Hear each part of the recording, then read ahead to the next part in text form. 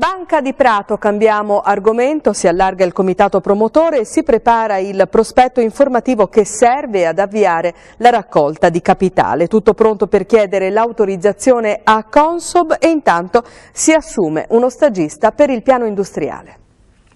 Un altro tassello per la futura Banca di Prato, l'ampliamento del comitato promotore con l'ingresso di quelle persone, imprenditori professionisti e semplici cittadini in tutta una sessantina che hanno mostrato un interesse reale per la nascita di un istituto di credito pratese.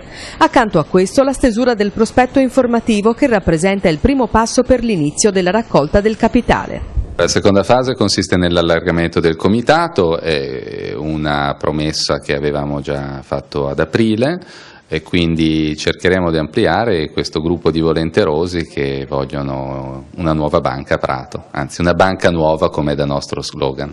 Intanto siete pronti anche per chiedere l'autorizzazione per le sottoscrizioni, si passa da Consob naturalmente. Esattamente, prima dobbiamo, l'iter prevede un passaggio da Consob per poter iniziare le sottoscrizioni nuovo, del nuovo capitale.